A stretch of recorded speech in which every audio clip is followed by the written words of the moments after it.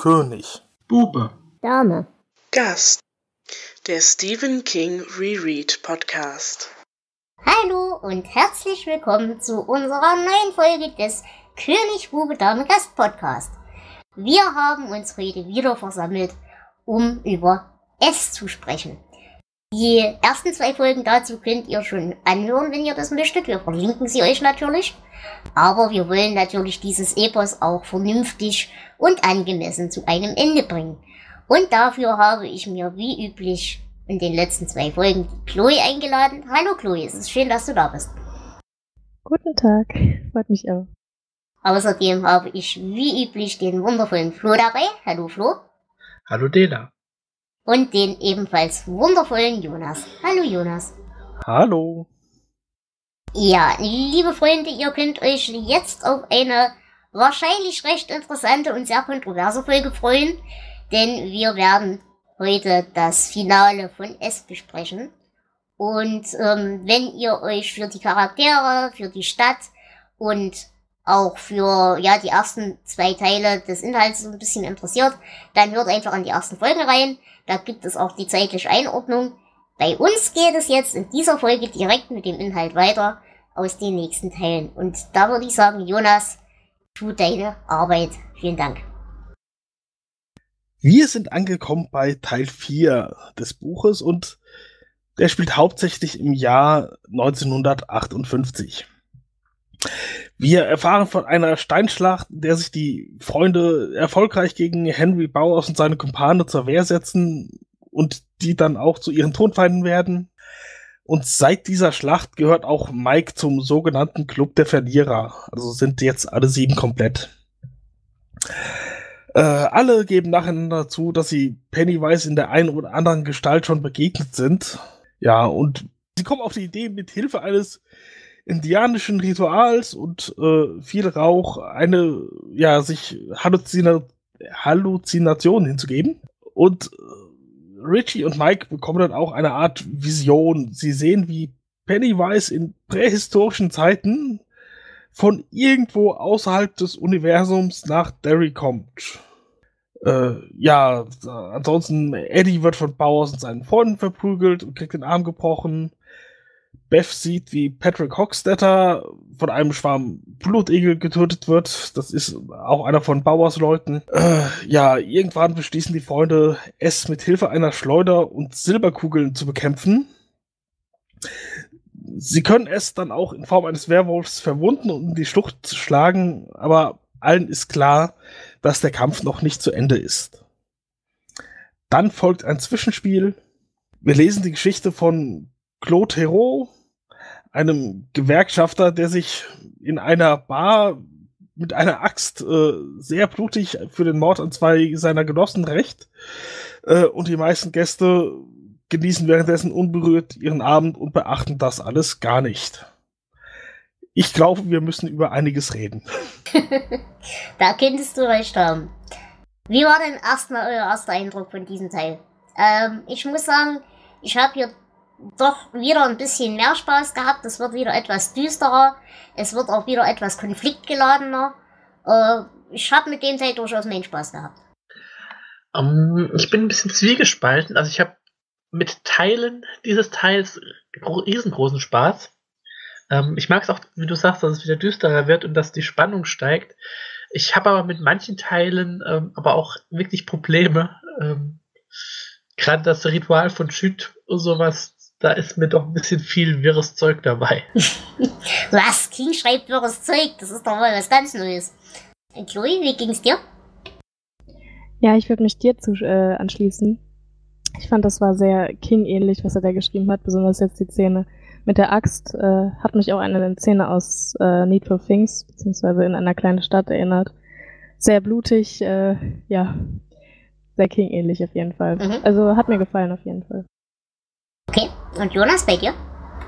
Ja, es, es kam mal ein bisschen Bewegung rein. Es, halt die Handlung von 58 wurde ein bisschen fortgesetzt. Man erfährt mehr von den Umständen auch. Halt diese Steinschlacht, wo dann Mike dazukommt, wie die, ja, da mit Böllern sich gegenseitig bewerfen und ja, Ich meine, Steinschlacht kann man sich heute kaum noch vorstellen. Ich kenne noch Leute, die sowas getan haben, aber äh, ja, so, aber ja, auch dieses äh, Treat-Ritual und die Vision, das ist alles, ja, muss man so hinnehmen, muss man nicht gut finden. Okay. Flo? Was mir an der Steinschlacht besonders gefällt, also erstmal ist das sowieso eine Szene, die ich sehr mag, ähm, ist, dass es sich ab hier auch tatsächlich diese Handlungsebene komplett anfühlt. Weil bis jetzt war ja Mike so außen vor jetzt ist die Gruppe endlich äh, vollständig. Das wird im Buch auch schön beschrieben und es fühlt sich auch für mich beim Lesen so an. Ähm, vielleicht, weil man vorher schon diese Gruppe gesehen hat als Erwachsene, dass es jetzt einfach zusammenpasst. Mhm. Na, das ging mir auch so. Also ich habe mit der Szene mit der Steinschlacht selber auch wieder nicht so richtig viel anfangen können. Aber dass äh, Mike jetzt, und das ist eigentlich zu einem echt späten Zeitpunkt im Buch, zu dem Zeitpunkt jetzt erst äh, in die Truppe wirklich reinwächst und man merkt halt wirklich, wie das ineinander klickt. Also wie es ab jetzt wirklich eine Einheit ist und ein richtiges Quartett, das auch nur noch der Tod auseinanderbringen kann. Ähm, das fand ich sehr schön und was ich auch sehr schön fand, ist, dass Mike eben auch zu der Zeit als Kind schon seinem, seinem Anspruch als Chronist äh, gerecht wird. Denn er ist ja der Erste, der, ich glaube, von seinem Papa diesen Holzschnitt äh, organisiert, wo eben dargestellt wird oder gezeigt wird, dass es schon immer in dieser Stadt äh, gelebt oder ge ge gewirkt hat zumindest. Und das fand ich eigentlich ziemlich interessant als Szene, dass wir eben wirklich von Anfang an hier die verteilten Rollen haben. Wer was ist, wer was macht und wer wie reagiert. Ähm, ich möchte hier ein Zitat vorwegnehmen. Ähm, Bill glaubte fast ein Klicken zu hören. Das letzte Teilchen war soeben in einer Maschine unbekannter Funktion eingefügt worden. Er bekam eine Gänsehaut und ein kalter Schauer lief ihm über den Rücken. Jetzt sind wir komplett, dachte er. Genau. Und so fühlt sich das für mich auch an. Also ich äh, finde das ziemlich gut beschrieben. Ja, das auf jeden Fall. Und wie gesagt, ab dem Moment finden auch wirklich komplett alle ihre Funktionen in der, in der Gruppe. Also es ist jetzt nicht mehr so, dass jeder theoretisch sich noch verabschieden könnte, auch wenn sie es vielleicht nicht tun würden. Aber ab jetzt sind sie wirklich unzertrennlich damit verbunden und durch ihre Mission gebunden, sag ich mal. Aber auch hier, und das fand ich auch wieder ganz nett, äh, sie gucken ja dann wieder dieses Fotoalbum durch, wo eben die Geschichte der Stadt so ein bisschen gezeigt wird. Und hier äh, würde ja dann wieder die Sache ein bisschen gruselig und alles ist nicht gut und doof. Und auch hier ist es Stan wieder, der Feigling, der sich auch wegräumt, der die Augen und das Album verschließt, als es eben seine Ängste konfrontiert. Das heißt, es zeigt sich schon als Kind, dass er derjenige sein wird, der sich dem wahrscheinlich nicht stellt. Dann würde ich sagen, reden wir doch über dieses lustige Raucherdual. Das Raucherdual und den ganzen Bremborium, der da rundherum äh, veranstaltet wird, der hat sich mir auch eher nicht erschlossen. Das war mir auch alles ein bisschen zu überdreht. Und diese Vision selbst, die soll ja beeindruckend sein. Aber ich verstehe sie nicht. Also ich verstehe sie so ein bisschen unter dem Kontext des Turms und des Flitzerdunkels. Aber dafür, dass die Szene beeindruckend sein soll, verpufft die bei mir in Konfusität. Geht euch das auch so? Ja, mit dem Unterschied, dass ich sie auch im Zusammenhang mit dem Turm nicht verstehe, weil ich den halt nicht so richtig kenne. Naja, du bist halt noch nicht so weit. Das kommt, das ist, das ist normal. Aber ich verstehe auch nicht, warum sie dieses Ritual durchführen wollen. Wie sie überhaupt auf die Idee kommen. Nur weil Bender irgendwas gelesen hat, das, äh, ja. Alles sehr, sehr komisch. Ähm, geht mir genauso. Ich habe ja im ersten Teil dieser Folge versucht zu erklären, äh, wo es herkommt mit diesem Makroversum, dem ganzen Kram. Und bin da ja schon kläglich gescheitert. Ähm, ich glaube, man kann es auch, man kann es für sich irgendwie ein bisschen äh, versuchen zu verstehen, aber das Ganze wirklich logisch irgendwie zu, ja, in Worte zu fassen, äh, ich glaube, dazu ist es wirklich viel zu konfus. Naja, und vor allem, was mich halt so ein bisschen, und das ist das Grundkonzept, was mich daran stört. Gehen wir davon aus, das ist eine Entität aus dem Flitzerdunkel.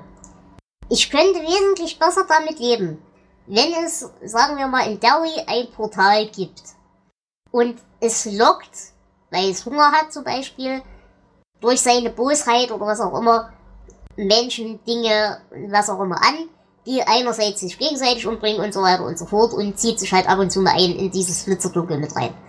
Damit könnte ich leben. Das wäre prima, das ist okay.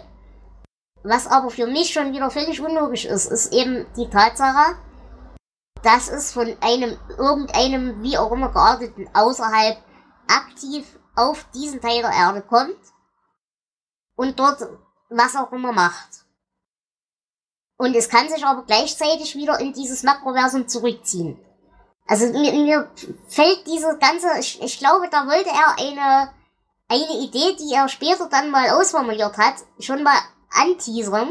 Oder zumindest hat er die schon zu dem Zeitpunkt im Hirn gehabt. Aber er war noch selber zu blöd, sie umzusetzen und für sich selber auszuformulieren. So kommt mir das vor. Hm, also ich sehe das so, dass es tatsächlich so ist, wie du beschrieben hast, ähm, dass diese Wesenheit äh, vielleicht nicht unbedingt mit dem Portal, aber irgendwie doch an den Ort Derry oder an den Ort, wo Derry dann entstanden ist, gebunden ist. Das sehe ich schon so. Also es ist nicht jemand, ja, das, der sagt, heute komme ja, heut komm ich mal dahin und fress mal ein paar Leute oder so. Ähm, das sehe ich schon. Aber ich, äh, ich weiß nicht, ob du auf den Puig angespielt hast.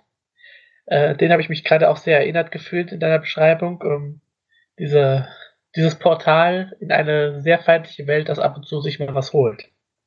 Genau, und wie gesagt, damit könnte ich auch prima leben, aber was mich halt, aber gut, es wird ja auch erwähnt, ich weiß nicht, wie ihr die Szene verstanden habt.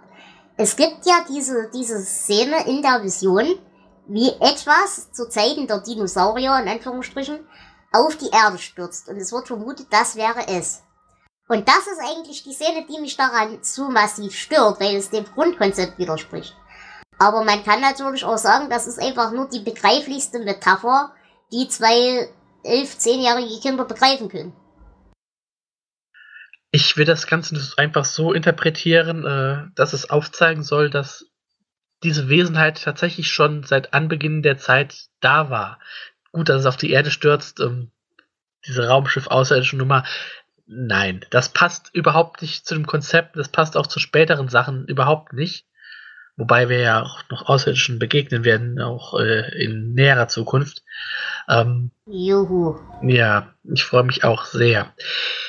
Äh, ja, ich denke, für mich ist das kein Raumschiff, für mich ist das vielleicht das erste Mal, dass sich das Tor öffnet, wirklich zwischen diesen Welten, mhm, genau. zwischen unserer neuen Welt und dieser schon ewig existierenden Makroversumswelt.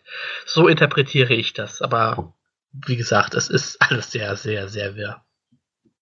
Und das nächste, was mich hier auch wieder ein bisschen stört, äh, diejenigen, die dieses Rauchritual durchhalten, sind Mike und Richie. Und auch hier haben wir wieder den klassischen Trope des äh, Magic Negro. Also Mike hat sonst keine Funktion, aber ausgerechnet her, hier ist er derjenige, der den Flow bewahrt.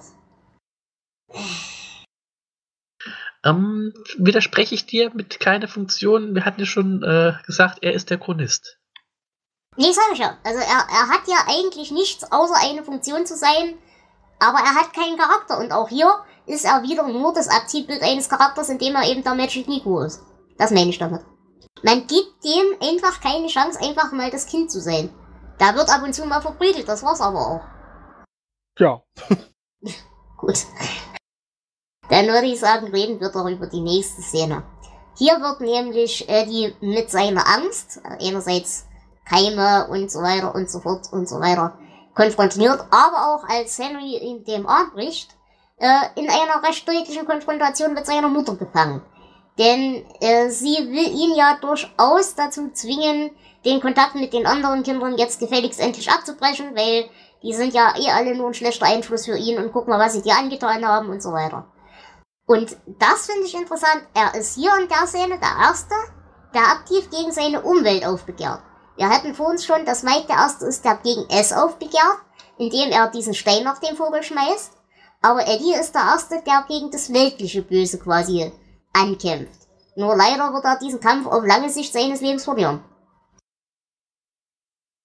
Dennoch hat dieses Kapitel Eddie für mich äh, viel sympathischer gemacht, als er vorher war. Ähm, hier merkt man so richtig so die Charakterentwicklung, dieses Ausbrechen aus, aus der Kindheit und äh, sich seinen Eltern entgegenstellen, äh, was ja später noch, um, ähm, noch viel, viel, viel intensiver betrieben wird in dem Buch.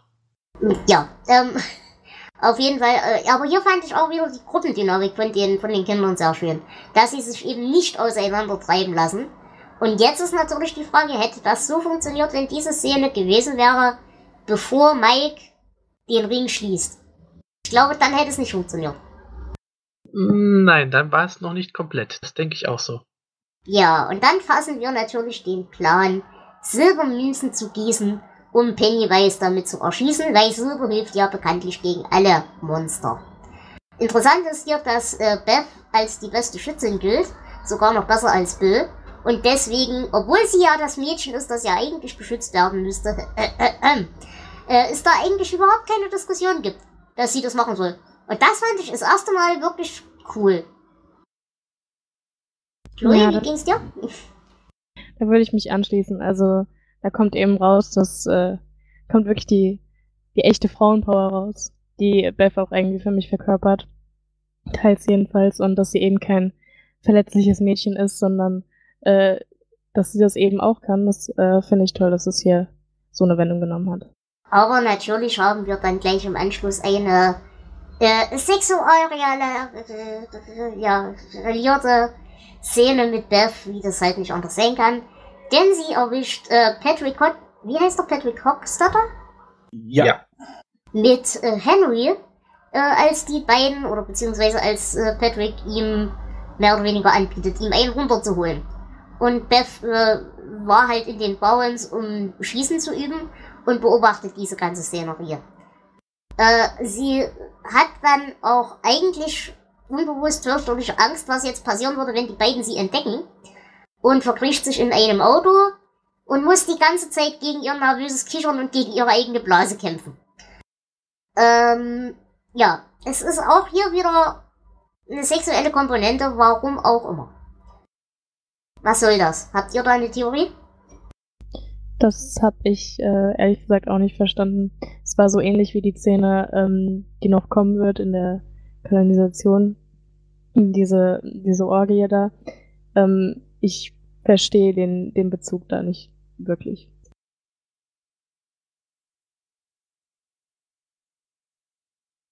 Hm, ähm, vielleicht einmal die Sache Furze anzünden kann lustig sein, gerade äh, in Literatur. Das ist genehmigt. In dem Alter ist das genehmigt.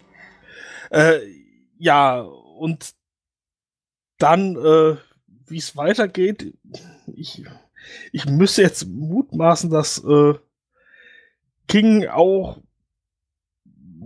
ja auch, auch diese Coming of Age Szene äh, darstellen kann, dass es äh, auch da vielleicht eine oder andere seine Homosexualität äh, entdeckt oder äh, ähnliches. Das, das, das verstehe ich vollkommen. Da, da meinetwegen. Und eben auch gerade diese Stigmatisierung. Ich meine, äh, äh, Henry will ihn ja mehr oder weniger dafür, dafür schon fast umbringen. Ähm, das sehe ich ein. Die Szene hat ihre Berechtigung. Aber diese, diese Angst, die bei Beth mitschwingt, was die jetzt mit ihr machen, wenn sie sie dabei entdecken, dass sie die dabei entdeckt hat. Ähm, die hat nicht nur diese, oh, ich habe jetzt was gesehen, was ich nicht sehen sollte, sondern für mich schwingt da schon wieder, der hat da noch einen stehen und ich weiß nicht, was er damit machen würde. Ähm, das sehe ich nicht so. Ähm, für mich ist das eher dieses, oh, Sexualität, das hat was Verbotenes. Ähm, wenn die mich jetzt erwischen würden, oh, was würden die da mit mir machen? Ähm, natürlich ist das möglich. Also Patrick Hockstetter wird ja auch hier näher beleuchtet und er ist ja ein kompletter Psychopath. Eben der ja auch seinen eigenen Babybruder ermordet hat und auch äh, Tiere tötet in einem Kühlschrank. Ähm, Kühlschränke sind ja auch so Geschichten, die hatten wir schon öfter. Äh, aber ähm, was du da sagst, will ich jetzt nicht so rein interpretieren in diese Szene. Okay, dann liegt das bei mir tatsächlich wirklich ein bisschen an diesem wirklich übertretenen Sexualkontext, den es wahrscheinlich durch die Filme auch hat kann durchaus sein, dass ich das dadurch noch ein bisschen mehr reinlese, als es da ist. Ich, ich denke auch, weil die Szene spielt ja auch nicht allzu lang nach dieser äh, Steinschlacht. Und ähm, also, natürlich hat sie Angst davor, wenn sie allein diesen zwei Jungs begegnet, ähm, dass die sich jetzt rächen werden. Aber direkt jetzt, sagen wir mal, eine Angst vor einer Vergewaltigung sehe ich jetzt hier nicht als, als Hauptgrund, äh, warum sie sich versteckt, warum sie Angst hat. Mm, naja, aber was für mich da mitschwingt, ist dieser Punkt, äh, wie soll ich sagen? Als, als Henry Hochstetter damit mehr oder weniger droht, äh, dem, ja, also er will ihm ja schlicht und ergreifend mehr oder weniger was tun, aber ist erstmal zu perplex dazu. Und, ähm, er weiß also, dass dieses, ist immer blöd, im Kinderkontext darüber so zu reden, aber äh, er, er empfindet oder er weiß, dass diese, in Anführungsstrichen, Homosexualität oder diese homosexuelle Handlung was Tabuisiertes ist. Und gerade in seiner Erziehung, wie Henry nun mal so ist, ist für mich der nächstlogische Schritt, dass es dann quasi nicht nur seine Reaktion wäre, da hat mich dabei ein Mädchen gesehen, die muss ich jetzt tothauen, sondern ich muss jetzt gleichzeitig beweisen, dass ich ja ein Mann bin.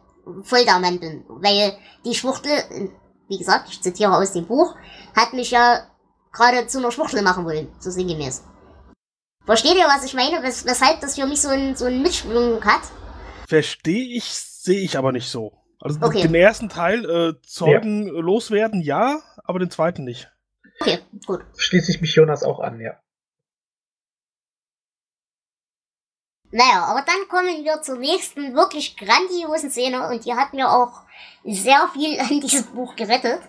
Denn ähm, sie entkommt dann eben diesen zwei Typen und wird Zeuge, wie Patrick Ho- Hochstetter zurück zu seinem Kühlschrank, zu seinem Haus der Freund geht und dort von einem Schwarm fliegender Blutegel oder fliegender Fliegen mit Blutsaugerfunktion äh, ausgesaugt wird.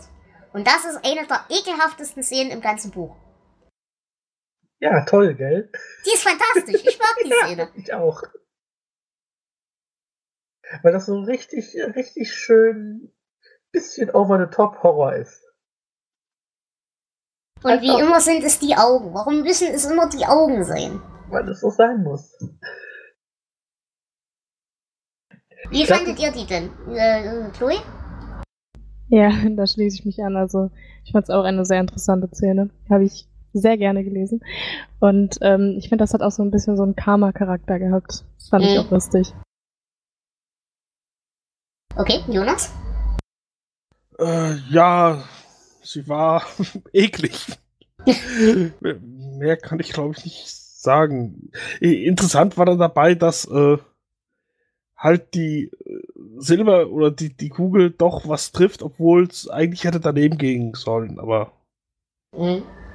ansonsten, das, war eigentlich das eigentlich Interessante an der Szene. Ähm, also zu dem eklig muss ich sagen, ja.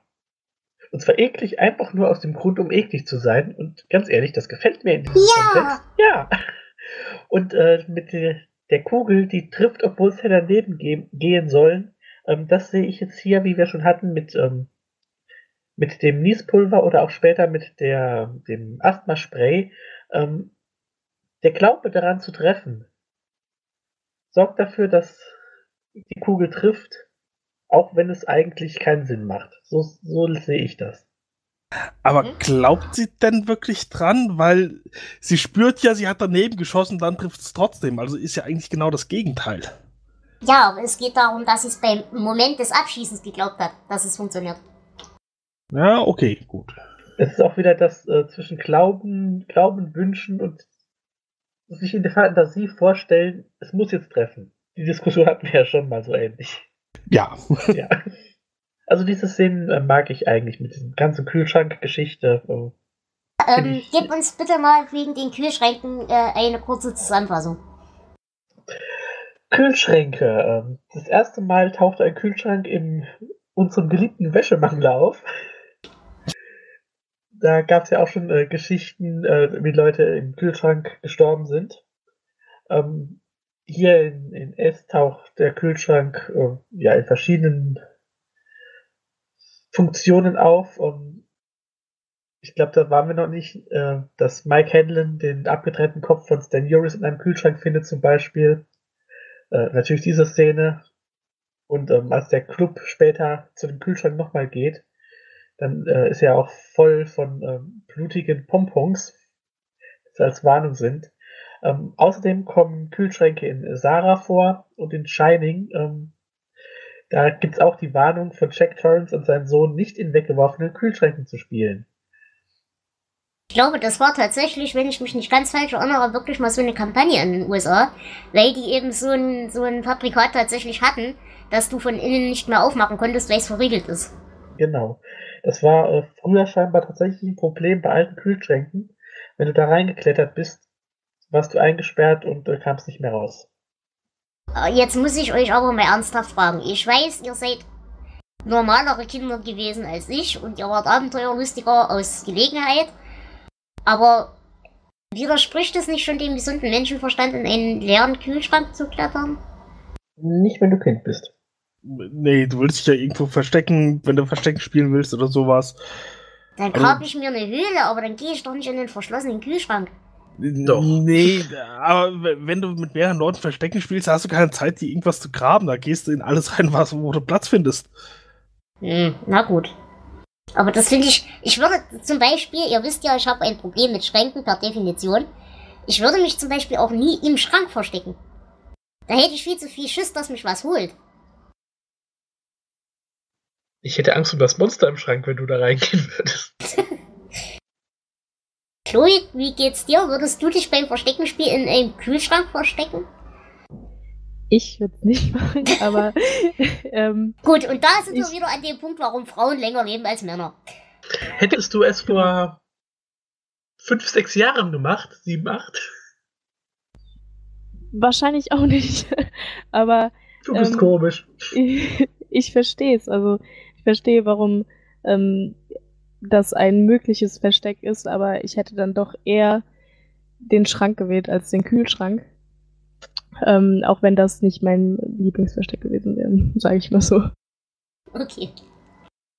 Ja, ähm, und dann kommt es in unserem tollen Roman zur ersten wirklich physischen Konfrontation mit S als Gruppe, nämlich im Abbruchhaus. Und hier siegt Bill mit seiner Rationalität, indem er eben allen ihre Panik äh, wegrationalisiert und ausredet und erklärt, dass das alles nur in ihrem Kopf passiert. Beth allerdings äh, ist diejenige, die tatsächlich physisch äh, siegt, mit physischer Kraft, indem sie eben den Schuss trifft. Aber es ist nur ein halber Sieg, es wird nur in die Flucht geschlagen und nicht zerstört. Ja, erster epischer kleiner Zwischenkampf. Meinungen? Ich finde das epischer kleiner Kampf ein sehr schönes ähm, ja, ich, ich mag die ganzen Szenen hier. Ähm, es ist aber irgendwie relativ schnell klar, ich meine, man weiß natürlich, das Buch geht noch viele hundert Seiten, ähm, dass es nicht das große Finale sein kann. Aber es ist ein, eine interessante äh, Szene und mich wundert um ehrlich zu sein, ähm, dass von den Kindern, äh, dass die nicht mehr Schaden davon tragen. Genau, ging mir auch so. Habe ich mich auch gewundert. Aber generell muss ich sagen, fand ich diese Szene doch enttäuschend blutleer. Also nicht nur im wörtlichen Sinne, sondern insgesamt. Sie war mir etwas zu blass. Ich hab's auch nur noch sehr schemenhaft vom Auge. Also es ist jetzt nichts herausstechendes passiert, was, an das ich mich erinnern könnte. Ich weiß, es gab den Kampf. Äh, es ist wieder verschwunden und ja, das war's. Ja, da würde ich mich Jonas auch anschließen. Also ich finde, es war auch nur ein Kampf, jetzt nichts äh, wirklich äh, herausstechendes oder so, an das ich mich jetzt erinnern würde.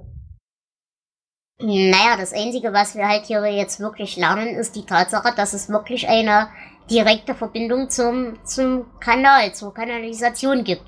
Und dass wir dadurch jetzt wissen, wo wir ernsthaft suchen müssen wenn wir uns denn wirklich einem richtigen Kampf stellen wollen.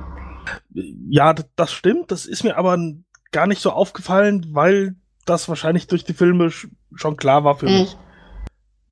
Ja, also es ist mehr Mittel zum Zweck als tatsächlich schon Entscheidung, würde ich auch mal sagen. Ja, aber wie gesagt, es geht mir echt zu glatt ab. Also das müsste eigentlich müsste mehr passiert sein.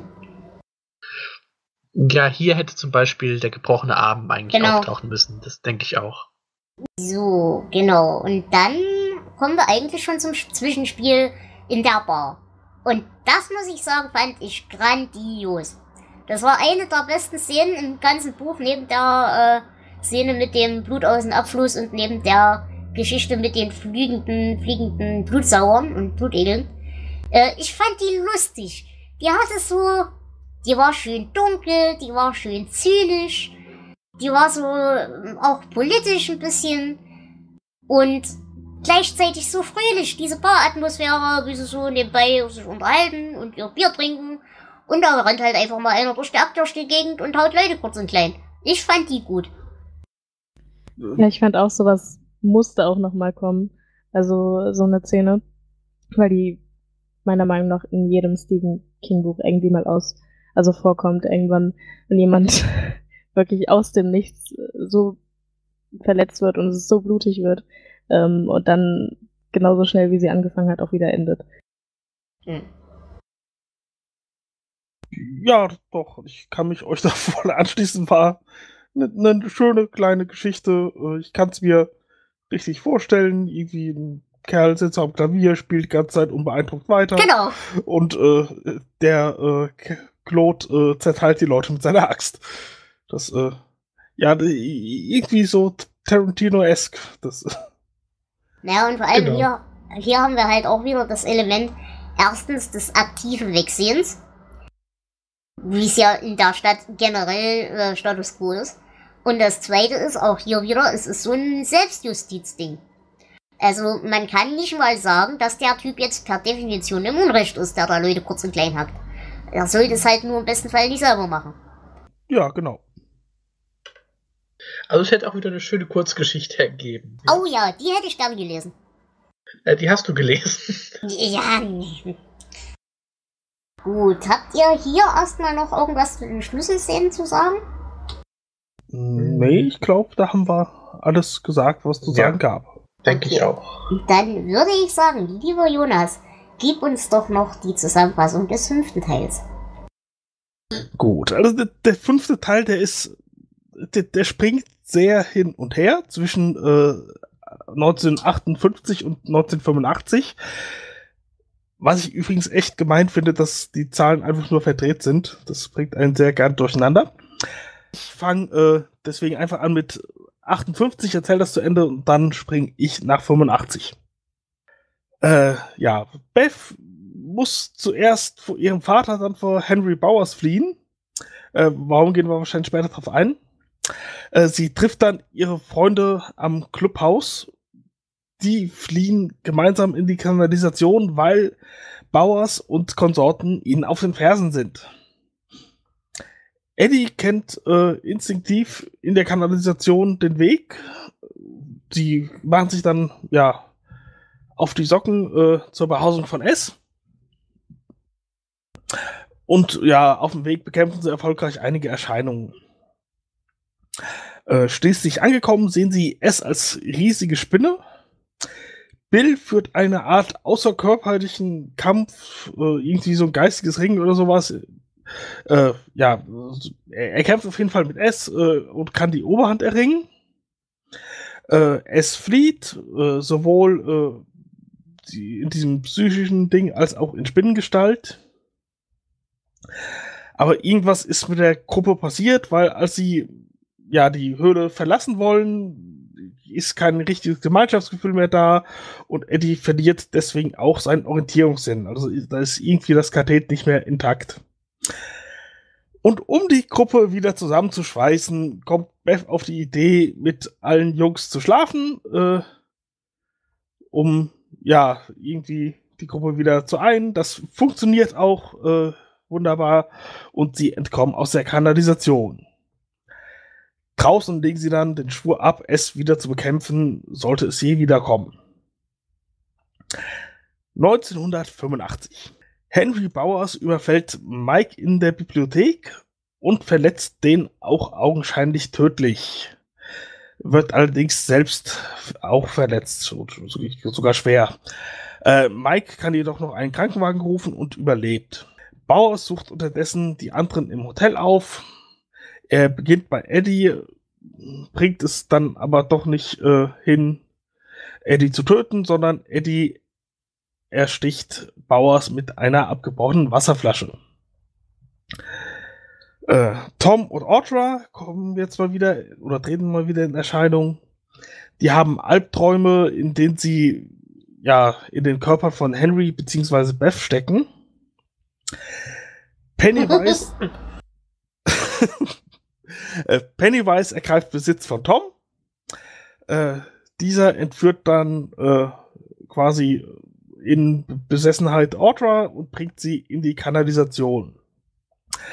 Als sie dann es sehen in Spinnengestalt, äh, erleidet Tom einen Schlaganfall und stirbt und Audra wird katatonisch. Die verbleibenden Freunde machen sich dann ebenfalls auf den Weg zum Nest. Die Geschichte von 58 wiederholt sich mehr oder weniger mit ein paar Variationen. Äh, der geistige Kampf wird von Bill und Richie gemeinsam bestritten und gewonnen. Eddie wird der Arm abgebissen und verblutet. Und während Ben die Spinneneier von S zerstört, jagen Bill und Richie die Spinne und töten, äh, ja, genau, jagen und töten Bill und Richie die Spinne. Währenddessen bricht in Derry die Hölle los. Ja, das war's mit der Hauptgeschichte. Dann kommt da noch so ein Epilog. Die Freunde reisen nach und nach ab. Audra heilt durch eine Fahrt auf Silver und ja, ist auf jeden Fall wieder normal. Und alle fangen an, die Geschichte zu vergessen. Und diesmal auch Mike. Mike diesmal auch, genau. Ja, ich danke dir ganz sehr für die Zusammenfassung.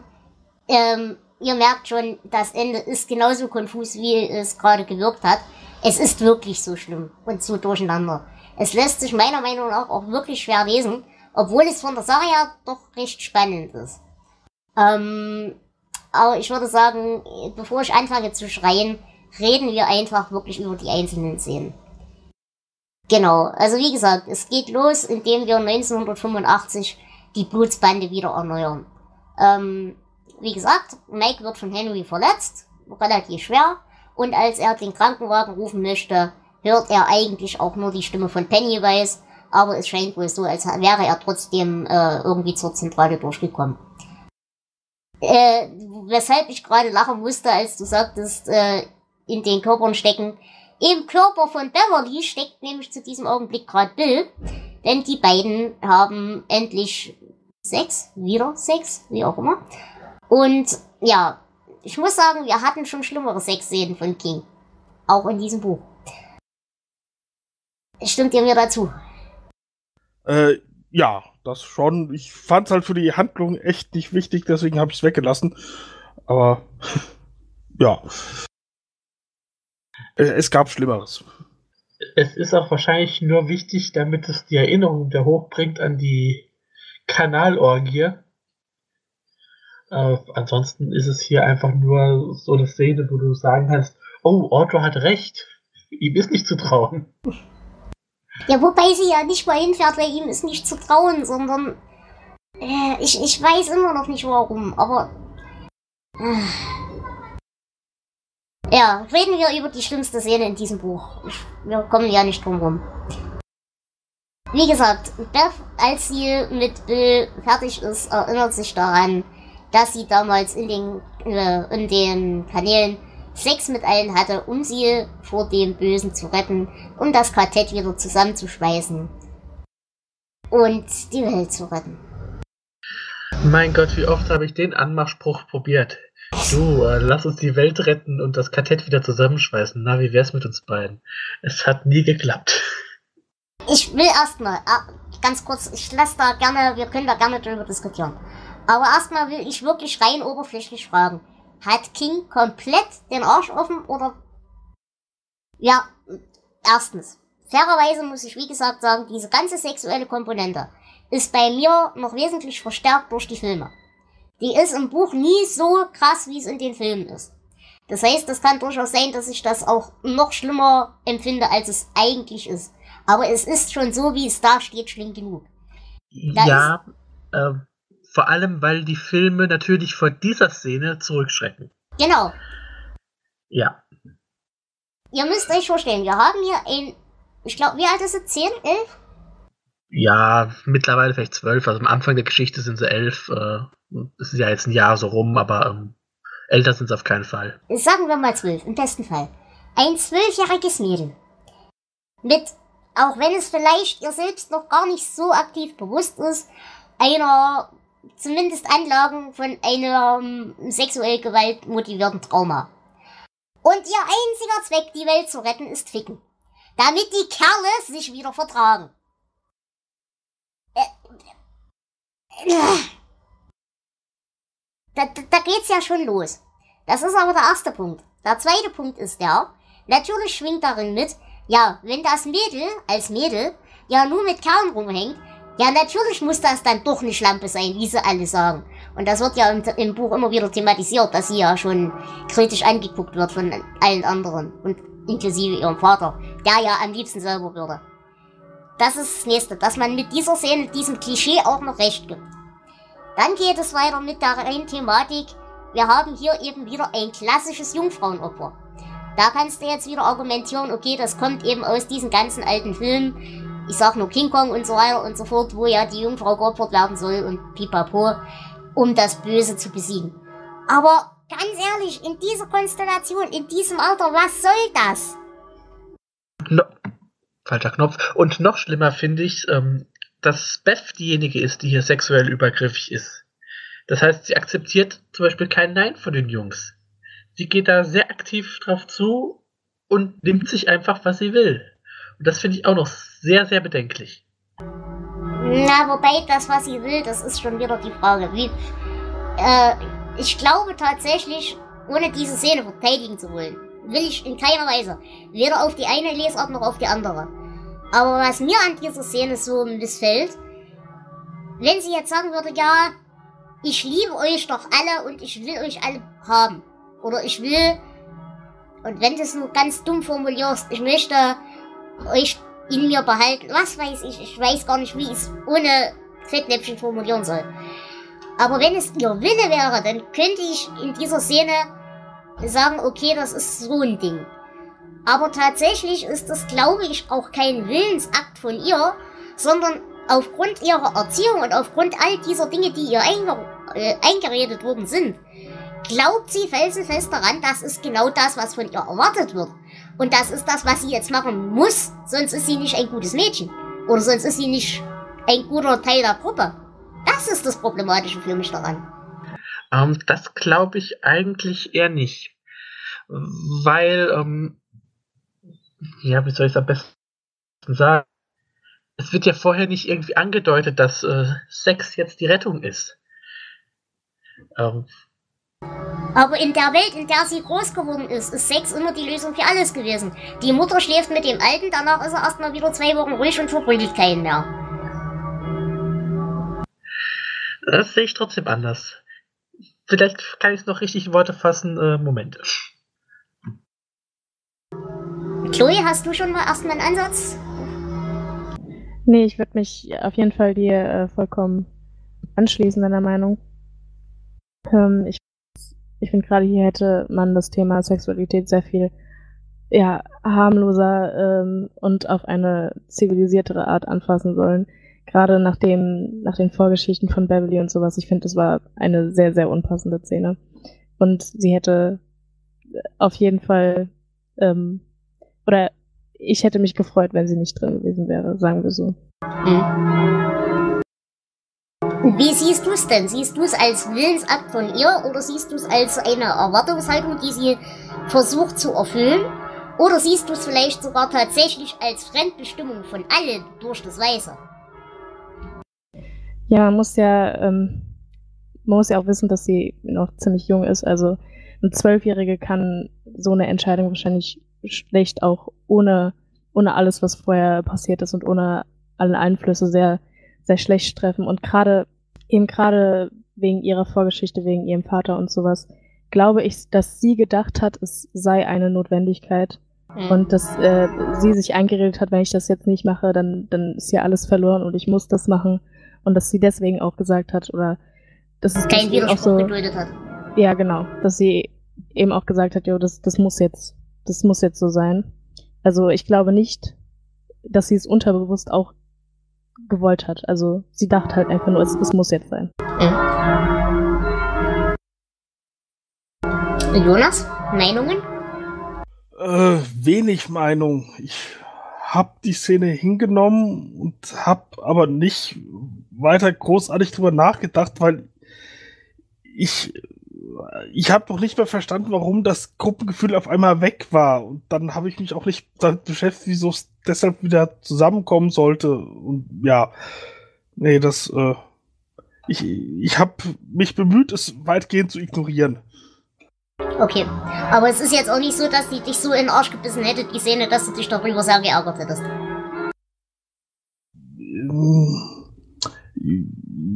Ja, Jordan, natürlich hatte die Auswirkungen auf mich die Szene, äh, weil streng genommen äh, haben wir hier äh, Kinderpornografie in äh, literarischer Form. Und ja, äh, es, ja, ich, ich, glaube, ich, ich, ich bin halt äh, mit dem Versuch rangegangen, das Ganze nicht zu beachten. Mhm, okay.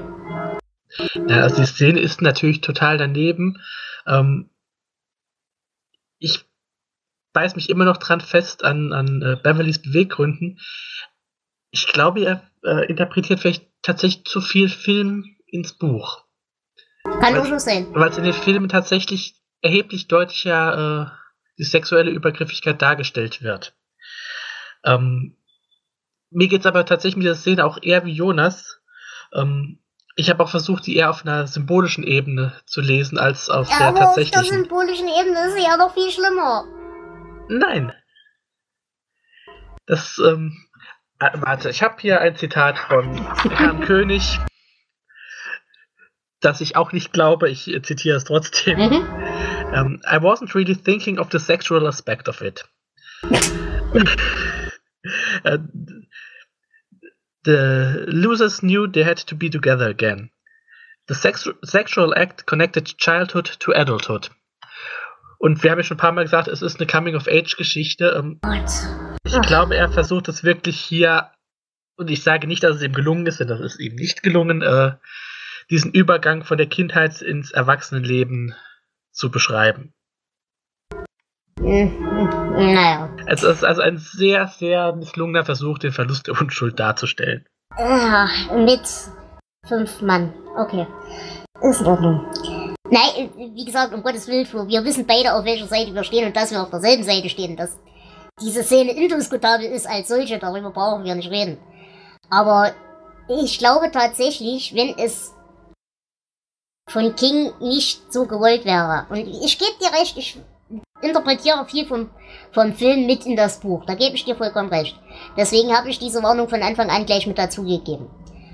Aber alleine diese ganze Menstruationssymbolik, Blutsymbolik und der ganze Quatsch.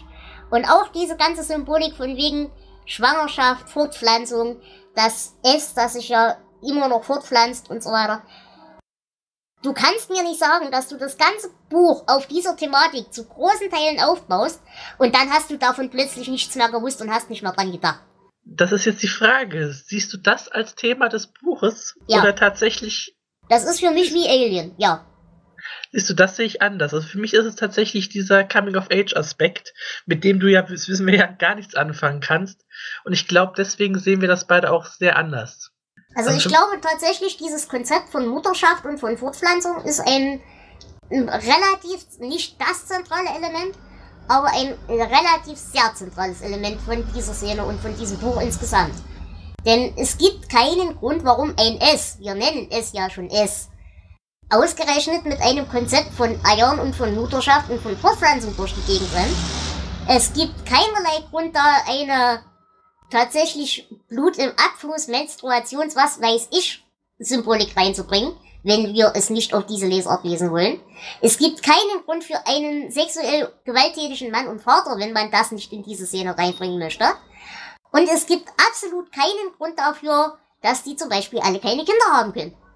Es gibt, wenn du diese Ebene aus dem Buch rausstreichst, für alle diese Szenen schlicht keinen Grund. Da widerspreche ich dir. Also erstmal sehe ich das für mich, natürlich ist dieser Kontext da. Ähm, leugne ich nicht, aber ich sehe ihn tatsächlich nur als sehr kleinen Teil. Und die Szenen kannst du auch teilweise äh, sehr anders interpretieren. Gerade auch diese ähm, Blut aus dem Abfluss-Szene würde ich eher wieder in die Richtung erwachsen werden, äh, Coming of Age äh, abschieben, als tatsächlich auf die Fortpflanzungsschiene. Aber warum ist es dann nur bei, dem, nur bei der Frau? Weil sie da ist. Ja, aber ich würde, ich würde deiner Argumentation komplett folgen, wirklich. Wenn zum Beispiel diese Szene bei meinetwegen Ben passiert wäre. Da könnte man sagen, ja, Verlust von Blutlinie, dadurch er halbweise ist, was weiß ich was. Dadurch okay, meinetwegen. Er trennt sich von seiner Vergangenheit, okay, meinetwegen, alles schön und gut. Ja, Nein. aber das Ganze würde ja äh, wieder ganz andere ähm, Themen aufmachen. Ich rede hier von diesem tatsächlich von diesem Coming of Age Thema. Ja, eben. Und das ist natürlich äh, bei Frauen anders als bei Männern. Ja, aber wie gesagt, diese, das Coming of Age, und gut, jetzt könnten wir natürlich eine Patriarchat-Geschichte draus machen, aber die reine Thematik, dass Coming of Age eine Bedrohung ist, ist nur bei Beth so. Bei allen anderen, bei allen von den Jungs, ist das Coming of Age theoretisch ein Ziel, auf das man hinarbeiten will. Bei Beth ist es eine Bedrohung. Hm, das sehe ich anders. Ich sehe tatsächlich, dass es hier um ähm, Emanzipation geht. Also jetzt nicht im, im geschlechtlichen Sinne, sondern äh, halt vom Kind gegenüber den Eltern. Dieses ganze Erwachsenwerden-Thematik, zum Beispiel diese Szene, äh, ach, ich habe den Namen Eddie, ähm, wenn Eddie sich gegen seine Mutter stellt, das sehe ich im selben Kontext wie diese Szene. Aber sie ist nicht bedrohlich. Das ist der Knackpunkt. Für mich ich ist das die Mutter Knackpunkt. ziemlich bedrohlich. Nee, um die ist nur eine manipulative, dumme Fotze. Ja. Und die können echt gefährlich sein. Und wie gut sich Eddie emanzipiert hat, das ist der nächste Punkt, das sehen wir ja. Ja, das sehen wir auch bei Beth. Dass sich das, oh. Ganze, dass das Ganze im Kreis läuft, äh, ist nochmal eine ganz andere Geschichte. Da würde ich dir aber auch widersprechen. Beth ist immer noch. Sie hat keine Eigeninitiative. Das ist übrigens das nächste, was mich an ihr stört. Aber sobald sie Initiative für zum Beispiel den Schwur oder ihre Freunde oder irgendjemanden, den sie beschützen möchte, ergreifen muss, dann tut sie alles, was sie glaubt, was getan werden muss. Aber für sich selbst hat sie keine Initiative.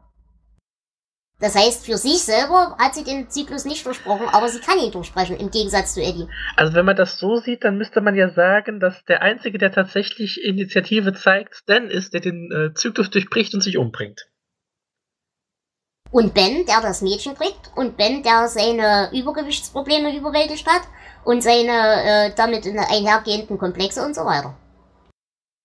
Und trotzdem kehrt er wieder zurück an den Ort, an dem alles so schrecklich war weil er einen Schwur ge ge gehalten hat. Aber er geht als Sieger am Ende davon.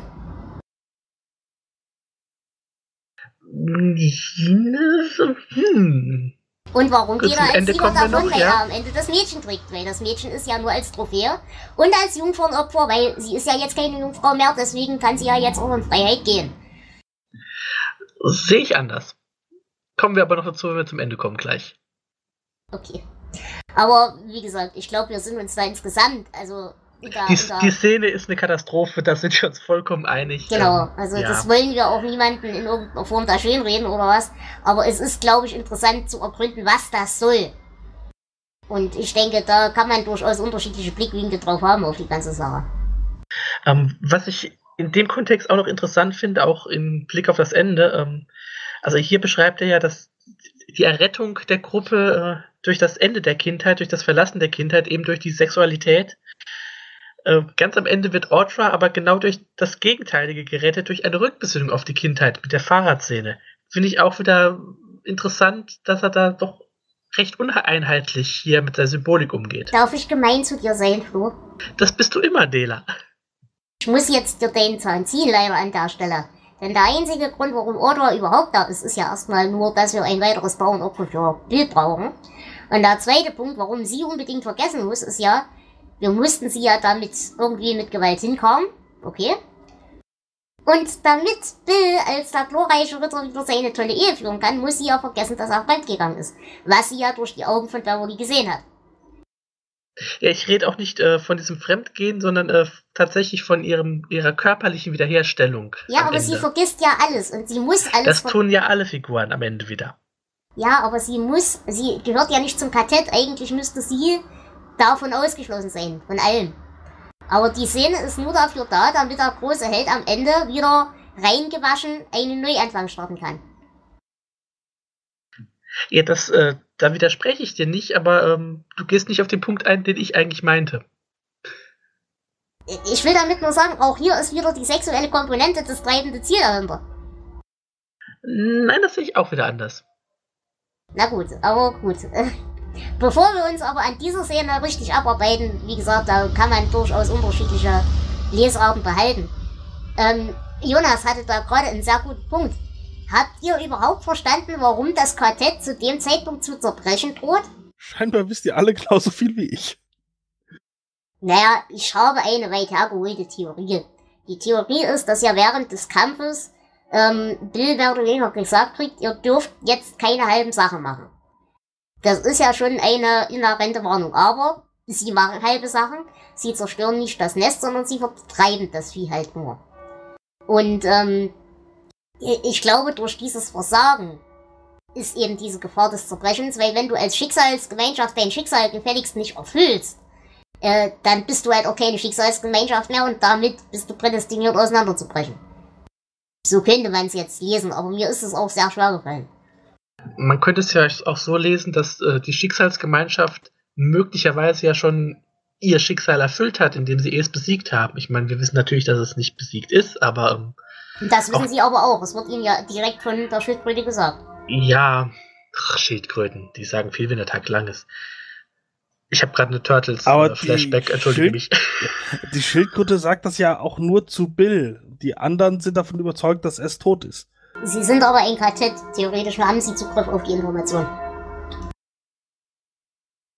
Ja, dazu kenne ich mich zu wenig mit dem Kartett aus. Ich glaub dir da einfach mal. Naja, sie haben halt auch in vielen anderen Szenen quasi diese Art von wortloser Kommunikation, wo sie alle, obwohl eigentlich nur einer diese Information hat, alle anderen es wissen oder begreifen oder wie auch immer. Ja, aber auch äh, innerhalb eines Kartetts kann man Geheimnisse voreinander haben. Das äh, erleben wir im Turm ja auch regelmäßig. Ja, stimmt. Gut. Dann würde ich sagen, springen wir in die Gegenwart. Oder nee, vorher ist, und, und da geht's schon wieder weiter, wo ich das Ende fürchterlich konfus finde. Ähm, die Szene mit Beths Vater und ihrer Flucht, die überhaupt erstmal dazu führt, dass sie in der Kanalisation landen. Äh, ich will die jetzt nicht im Detail besprechen, aber die fand ich auch sehr eindrucksvoll und doch sehr bedrohlich. Äh, ja, auf jeden Fall. Also d- da äh, merkt man, oder d- da zeigt sich explizit, dass der Vater auch, äh, ja, ich sag mal, nicht vor sexuellem Missbrauch zurückschrecken würde. Und ich habe mich dann auch irgendwie jetzt bei der ganzen Zusammenfassung gefragt, okay, man kriegt nicht erzählt, wie es nach 58 mit Beth weiterging. Genau, ich glaube, die Informationen wissen wir nur aus dem Film, dass sie dann irgendwie zu ihrer Cousine, Tante, was auch immer irgendwie. Aber im Buch war das, glaube ich, nicht thematisiert, hast recht. Ich glaube, da gibt es dann in der Anschlag auch noch ein paar Informationen, aber so ganz im Kopf habe ich das auch nicht mehr jetzt. Gut, ähm, dann. Ja, äh, äh, äh, Chloe, wie, wie ging's dir denn mit dieser Fluchtszene und der ganzen Sache? Fandst du die auch spannend oder hat die dich eher kalt gelassen oder? Doch, ich würde mich da anschließen. Also ich fand sie auch spannend und vor allem, wie ich das äh, auch schon mal kurz erwähnt hatte, ähm, dass hier äh, ihr Vater einfach einer dieser realen Ängste ist. Das merkt man da auch sehr. Also Hm. ein, eine sehr reale, brutale Angst, vor der man auch flüchten muss, weil sie einem halt auch wirklich was antun kann. Und auch hier haben wir halt wirklich wieder nicht nur aktives Weggucken, sondern tatsächlich dumme Kommentare von den Leuten, die sie im Zweifelsfall um Hilfe fragt, beziehungsweise an denen sie halt während ihrer Flucht vorbeirennt. Und alle geben noch dumme Kommentare, beziehungsweise gucken aktiv weg. Das fand ich in der Hinsicht auch nochmal ganz interessant. Genau, ja. Ich auch. Gut, dann kommen wir wieder zurück ins Jahr 1985 und wir finden Henry wieder. Ähm, lustig fand ich hier, er trifft auf Zombie Belch und der holt ihn mit einem Auto ab, das verdächtig an Christine erinnert. Ging euch das auch so? Das Auto ist Christine, ganz eindeutig. Ja, sehe ich auch so. Gut. Ja, ähm, wie gesagt, Henry überfällt dann auch Eddie und der schafft es, sich gegen ihn zu wehren, wobei er sich wieder mal den Arm bricht. Aber er schafft es, ihm auch ein Auge auszustechen und Henry damit umzubringen. Hier haben wir wieder die ausgestochenen Augen. Woher wohl dieser Tick kommt, das würde mich ernsthaft interessieren. Jedenfalls versammeln sich die äh, fünf, nein, wie viele, wie auch immer, die Freunde dann in Eddies Zimmer und finden heraus, dass Mike eben extrem schwer verletzt ist. Und ja, sie wissen halt, sie müssen jetzt handeln, ob er jetzt dabei ist oder nicht, weil das Quartett ist eh schon geschwächt, dadurch Stan ja tot ist. Und sie haben nur die eine Chance. Deswegen nehmen sie jetzt denselben Weg in die Kanalisation wie damals. Und dort findet Bill auch die Handtasche von Otto, die ja von Tom dahin verschleppt worden ist. Ja, habe ich wie gesagt nicht verstanden, was das soll. Es geht nur darum, dass wir Bill wieder irgendwas wegnehmen können. Aber es ist eine Schwachsinnsszene, weil sie sich eh schon entschlossen hatten zu kämpfen. Ja, vielleicht soll es einfach die, die Messlatte höher legen, aber es ergibt für mich auch jetzt nicht unbedingt Sinn. Ja, ich glaube, es geht halt darum, Bill zu schwächen, weil er der Anführer des Quartetts ist, wie gesagt. Und ähm, da er ja im ersten Anlauf es besiegt hat, mehr oder weniger im Alleingang, müssen wir ihn jetzt psychisch schwächen. Und das machen wir am besten, indem wir ihm was wegnehmen, was er lieb hat. Meine Vermutung ist ja, dass King Audra mit reingeschrieben hat. Er wusste auch nicht genau wofür und ihm ist dann auch nichts mehr eingefallen. Mhm, gebe ich dir recht. Aber ganz ehrlich, lieber Audra als Damsel in Distress als dann auf einmal noch Beth. Ja, das ist richtig. Also wenn man diesen Trope schon einsetzen muss, dann lieber mit so einer egalen Nebenfigur als dann mit einer Hauptfigur, die man doch wenigstens halbwegs interessant gestaltet hat bis jetzt. Aber ich hätte es tatsächlich cool gefunden, wie du vorhin schon sagtest, wenn wir einfach mal Eddies Ehefrau entführt hätten und er dann so, ach, ja komm, wir gehen einfach nochmal chinesisch essen. Das, das hätte ich besser gefunden. Das wäre cool gewesen. Vielleicht erleben wir das ja im äh, Teil 2 des Kinofilms. Das würde mich freuen. Was jetzt kommt, und das finde ich auch einen sehr genialen Teil in diesem Buch, ist ein kleines Kapitel aus der Sicht von S. Und da muss ich sagen, auch hier wieder die ja, vernünftigste Frauenfigur im Buch. Ich mag es. Es will einfach nur seine Ruhe. Es will da vor sich hin fressen und vor sich hin existieren und die scheiß Balladen gehen ihm auf den Sack und machen ihm Angst. Ich, ich verstehe das. Die sind auf meinen Rasen getreten. Was soll der Scheiß? Ich verstehe es auch. Es ist. Ja. Man braucht keine Motivation, wenn man ein kosmisches, uraltes Wesen ist. Man will einfach nur seine Ruhe. Ja. Und, und ich hab auch tatsächlich wirklich Mitleid mit ihm gehabt. Ich meine, der war zuerst da. Ja, aber Alter ist keine Entschuldigung. Und auch nicht. Nö, Alter nicht, aber wenn sich jetzt auf einmal jemand in deiner Wohnung einnistet, dann fresse ich den halt auch. Also. Pff. Ja, die Sache ist ja die, dass es, sie haben sich ja nicht direkt eingenistet, sondern sie waren halt da und sie waren halt sein Futter und das Futter wehrt sich auf einmal. Das äh, kann halt Ja, passieren, aber wenn die man haben sich sich eingenistet. Er saß da, hat so mit zwei, drei Dinos gekuschelt und alles war schön, keiner ist ihm auf den Sack gegangen. Und dann kommen die Idioten auf einmal auf die Idee, dass sie jetzt unbedingt dort siedeln müssen. Das wäre ungefähr so, Jonas, als würden in deiner Wohnung plötzlich eine Herde äh, Rindviecher einfallen und da jetzt wohnen wollen. Irgendwann würdest du auch denken, ach, bleib Mach ich halt halt ein paar hier. Bürger draus. Ja, genau das. Ja, okay. Chloe, wie hat dir denn diese Szene gefallen? Hast du da ähm, Sympathie für ihn empfunden, für es? Ja, schon irgendwie. Also ich war erstmal sehr perplex, weil ich überhaupt gar nicht damit gerechnet habe. Ähm, und vor allem hat es S, finde ich, sehr menschlich gemacht auf einmal. Und ich hatte auf einmal irgendwie einen Bezug zu S, was ich vorher überhaupt gar nicht hatte. Also wirklich über das ganze Buch hinweg hatte ich äh, gar kein Gefühl, konnte es gar nicht durchschauen. Aber ähm, ich fand's cool. Also hat, äh, hat ihn mir auch sehr sympathisch gemacht. Oder sie sehr sympathisch Mhm. gemacht. Ja, Aber, ja, wir haben aber hier auch wieder äh, Makroversum, Totenlichter, Geschwurbel, das ein bisschen komisch ist. ja. Aber gut, da muss man mit leben. Aber ich glaube, da muss man ihm fairerweise auch sagen, ich glaube, da verlässt einen auch einfach die Bildsprache. Das, ich kann mir vorstellen, dass diese Szene in seinem Kopf voll toll war, aber die kriegst du halt nicht ausgedrückt. Auch wenn du dafür bezahlt wirst. Ja, denke ich auch. Aber diesen, diesen Rückgriff und diesen Kniff haben wir ja schon in anderen Büchern gehabt, dass wir plötzlich aus der Sicht des Gegenspielers lesen. Wir hatten das bei Kujo, wir haben das bei Distant zum Beispiel sehr oft bei Flake gehabt, ähm, der ja auch aus verschiedenen Entitäten plötzlich ähm, ja, die Szenerie beobachtet oder damit interagiert. Also diese, dieses ähm, Element des von außen die Szene einmal zu beleuchten, die haben wir öfters. Und die finde ich eigentlich auch immer einen netten Rückgriff. Hm, Ja, das macht gerade die, die Gegner doch noch mal äh, zu realeren Wesen. Mhm. Ja, und dann haben wir, wie gesagt, den großen epischen Endkampf erstmal 1958. Wir treffen die Schildkröte, Schildkröte während des Kampfes, die uns eben, wie gesagt, auch warnt, dass wir eigentlich unseren Job noch gar nicht fertig gemacht haben. Bill besiegt es äh, auf psychischer Ebene im Ritual von Schütt. Was der Blödsinn soll, habe ich auch nicht verstanden. Und die Kinder fliehen, wie gesagt, trotz der Warnung und schwören nach der erfolgreichen Flucht, dass sie sich wieder zusammenfinden, falls das Ding doch wieder ans Leben zurückfindet.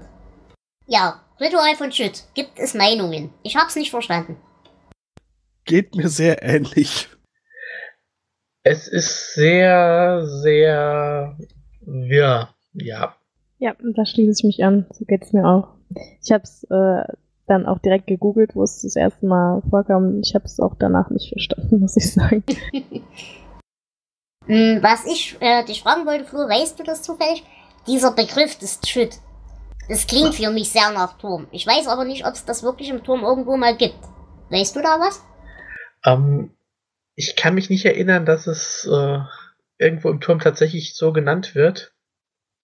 Es kann sein, dass vielleicht irgendwann tatsächlich was, was erwähnt wird, aber ähm, es klingt tatsächlich nach so einem alten Turmweltritual. Es klingt für mich halt nach den Manner. Nach den, nach den alten, langhaarigen Typen, die da so die Portale und die Bücher bewachen und so.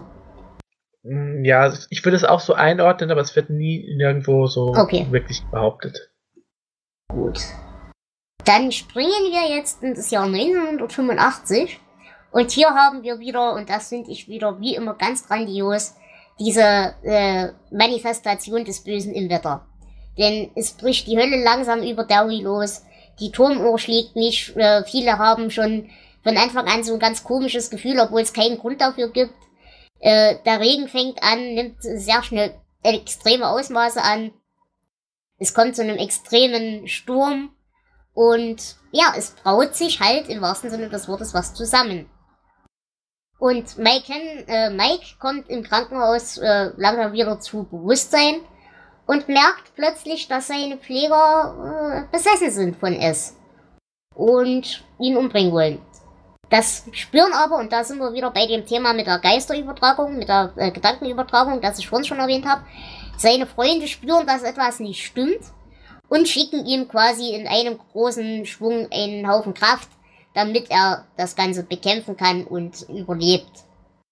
Thoughts and Prayers. Sie funktionieren doch. Ja, also erstmal äh, der Sturm und auch alle seine Beschreibungen und alles, was da passiert, finde ich großartig. Ähm, das macht auch die Stadt nochmal in, ihrer- in seiner Zerstörung so richtig lebendig. Ja, Äh, die Szene mit Mike ist tatsächlich ein bisschen. Äh, also wir, wir befinden uns hier wieder in einem großen epischen King-Finale und wir wissen ja auch von der Hand Gottes und anderen Dingen, dass da öfter mal Probleme auftreten können. Das äh, finde ich ist auch eins davon. generell ist das ganze Ding wieder ein typisches King-Finale, das groß und episch sein sollte und es nicht ist. Außer das Wetter. Das Wetter ist geil. Also irgendwie das gesamte Ende, ich habe mich nicht durchgeblickt. Ich, ich habe es auch so gehört und so, aber ich, ich habe wenig verstanden. Ging mir aber genauso. Ich habe es gelesen und ich, wie gesagt, ich habe das Buch jetzt das dritte Mal gelesen oder so. Oder sogar das vierte Mal. Und ganz, ganz ehrlich, selbst ich habe es nicht begriffen und selbst ich bin am Ende nur noch kopfschüttelnd dagestanden, weil es mir zu dumm war einfach. Es war bei mir jetzt das achte Mal oder so und ähm, auch mir geht es so. Aber wie kann man denn, ich meine, ich will das Buch mögen, wirklich. Ich habe mir wirklich Mühe gegeben, das Buch zu mögen. Es gelingt mir nicht, aber das ist ein anderes Blatt. Aber es hätte ja ein gutes Buch sein können. Wie kann man denn auf dem Ende, auf dem großen, wirklich wichtigen Finale, nur um des Deals wegen, so eine konfuse Scheiße schreiben? Ich meine, die Geschichten einzeln für sich betrachtet sind ja okay, aber es wird halt so konfus, weil die Zeitebenen sich ständig verschieben. Das finde ich noch nicht mal das Störende. Ähm, es sind wieder tatsächlich so Entscheidungen wie das Thoughts and Prayers. Also wir schicken unsere guten Gedanken an, an Mike, damit der die Kraft hat, seinen Angreifer zu besiegen. Äh, das sind eher die Sachen, die mich stören. Das wilde Hin- und Herspringen zwischen den Zeitebenen ähm, ist anstrengend, aber damit kann ich tatsächlich leben. Ähm, was mich an dem ganzen Ende noch am allermeisten stört. Ich sehe das vollkommen ein, dass das Ritual und dieses, dieser Endsieg über das Vieh jetzt schwerer ist, weil sie ja auch erwachsen sind. Aber meiner Meinung nach müsste es in der Beschreibung noch viel, viel schwerer werden und viel, viel mehr Verluste mit sich bringen, weil nicht nur erstens sie älter sind und weniger Fantasie haben und den ganzen Blödsinn, sondern vor allem auch, weil eben das Quartett ja nicht mehr vollständig ist. Erstens, Mike ist nur so halb dabei, Stan fehlt komplett. Für mich ist es, obwohl sie Schwierigkeiten haben, trotzdem noch viel zu einfach. Also es kommen tatsächlich sehr viele Leute lebend raus am Ende wieder. Ähm, bei sieben Hauptfiguren hätte ich tatsächlich mit weniger gerechnet. Nicht mal unbedingt, dass sie sterben, das ist okay. Aber vielleicht, dass einer wirklich mal eine geistige Klatsche wegkriegt oder was weiß ich was oder eben wirklich den Wahnsinn ins Gesicht sieht. Nicht nur Audrey, sondern eben einer von den, von den sieben Hauptpersonen. Das hätte ich cool gefunden und das hätte ich verstanden. Aber sie gehen ja außer Eddie wirklich komplett unbeschadet aus der Nummer raus. Ja, das hat mich auch sehr gewundert. Vor allem, weil ja so Happy End eigentlich was etwas ist, was für King eigentlich sehr untypisch ist. Ähm, und vor allem, weil am Anfang ja auch äh, schon so ja, angemerkt wurde, dass sie wahrscheinlich nicht mehr nach Hause kommen werden. Da hat mich das schon gewundert, dass wirklich der Einzige, der da äh, mit, also nicht gut rausgekommen ist, äh, Eddie war.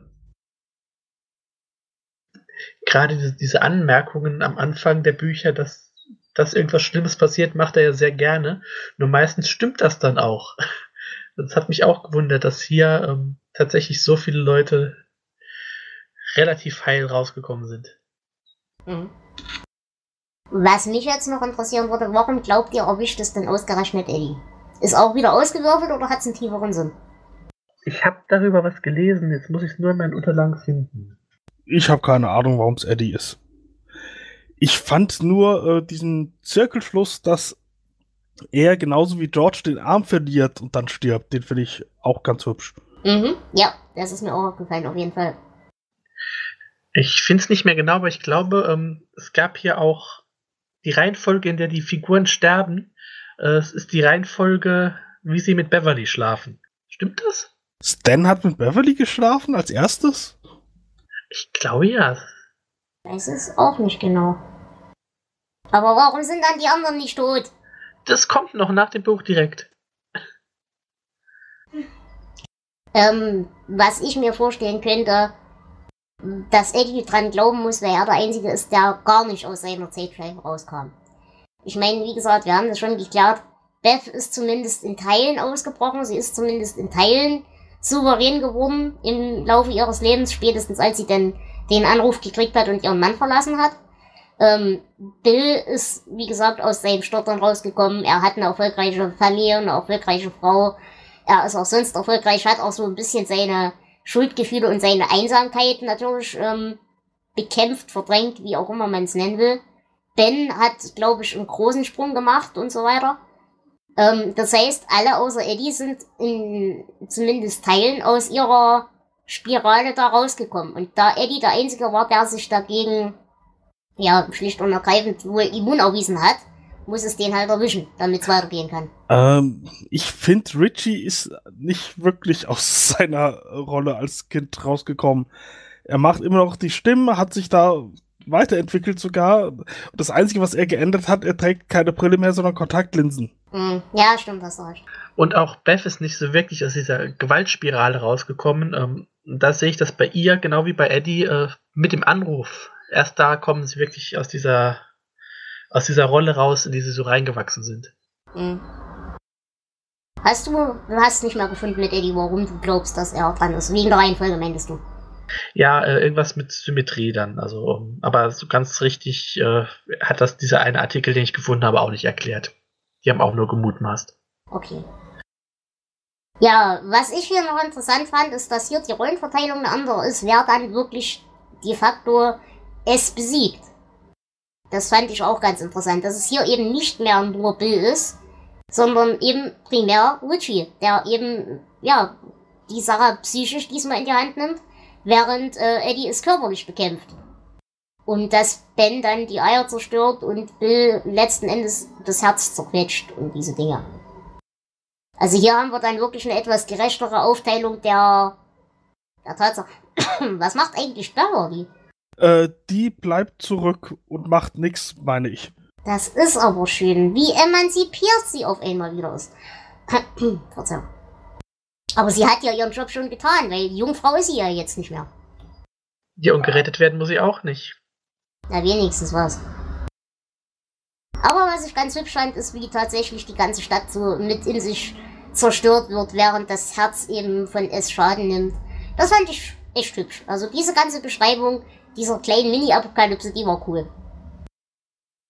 Ja. Ähm, fürs Protokoll, Beth bleibt bei Eddie. Halt bei der Leiche. Das ist aber auch alles. Toten Ja, ja, kümmert wichtig. dich, kümmert, kümmert dich mal um den Toten, wir Männer retten die Welt. Als Krankenschwester bist du gut genug. ja, ähm, aber ich möchte jetzt gerne nochmal auf die Sache mit der Schwangerschaft eingehen, mit den Eiern. Glaubt ihr, es hat sich schon fortgepflanzt und das ist nur der neue Zyklus? Glaubt ihr, sie haben es unterbrochen, bevor es Eier legen konnte, tatsächlich? Oder wie interpretiert ihr das? Ich habe keine Ahnung, weil ich mir nicht erklären kann, wie die Eier hätten befruchtet werden sollen. Ich bin mir gar nicht sicher, ob es da bei diversen Spinnenarten tatsächlich so wie bei Schnecken so Selbstgedöns gibt. Ich weiß es auch nicht. Aber ja, es, es steht nicht geschrieben, also ist nicht passiert. So ungefähr sehe ich das. Das ist ja meine. Du, du weißt doch, das ist wie bei der Symbolik bei mir. Wenn es da nicht explizit steht, dann ist das auch nicht so. Und außerdem, wenn es denn wirklich im Flitzerdunkel haust, hat es auch Zugriff auf andere Wesen. Vielleicht wollen die ja auch nur ficken. Weiß man ja nie. Ich sehe es auch. Äh, Ich, Entschuldigung, ich muss Ja. dich kurz unterbrechen. Ich habe gerade einen Gedanken an lustige Tentakelwesen, denen wir auch schon begegnet sind. Ich möchte jetzt bitte abgeholt werden. nein, ich lasse mich mit den Tentakelwesen noch allein, aber ähm, ich gehe lieber in die äh, jüdisch-christliche Mythologie. Also für mich ist das ähm, eher auch wieder auf so einer symbolischen Ebene, äh, wie mit Lilith, der ähm, ersten Frau Adams im Paradies, die dann zur Mutter aller Monster wird. Äh, für mich ist das gar nicht es, das sich fortpflanzt, weil ich glaube auch nicht, dass es hier, wenn, es, wenn diese Manifestation besiegt ist, dass es wirklich tot ist. Für mich ist das einfach ein Symbol für das Unheil, das es in die Welt bringt. Mhm. Ja, und dann haben wir ja in dieser lustigen Weltuntergangsszene, als Dowie so auseinanderfliegt, noch eine alte Bekannte getroffen, nämlich Becca Pawson. Das fand ich auch noch ganz niedlich. Äh, wenn ihr nicht wisst, wer Becca Paulson ist, hört euch unsere erste Podstock Live-Folge an, äh, die Offenbarung der Becca Paulson. Und ähm, wenn ihr keine Stifte mögt, die in äh, Löchern im Körper stecken, dann hört sie vielleicht doch nicht an. Hallo Stefan. Genau. Ja, das habe ich glaube ich, tatsächlich gar nicht mitbekommen. Eine Frau namens Rebecca Paulson fand in Halen einen 50-Dollar-Schein auf der Fußmatte ihrer Hintertür. Zwei Zwanziger in ihrem Vogelhäuschen und sogar einen Hunderter, der an einer Eiche auf ihrem Hinterhof klebte. Ihr Mann und sie bezahlten mit diesem sozusagen vom Himmel gefallenen Geld zwei Raten für ihren Bombardier Skido. Ach, schön. Und dann habe ich mal noch eine Frage an euch. Ähm, während wir in der Kanal Kanalisation rumstolpern, haben wir doch ein Bild an der Tür. Wisst ihr, welche Szene ich meine? Äh, Ja. ja, ich weiß sogar, wie das Symbol aussieht. Genau.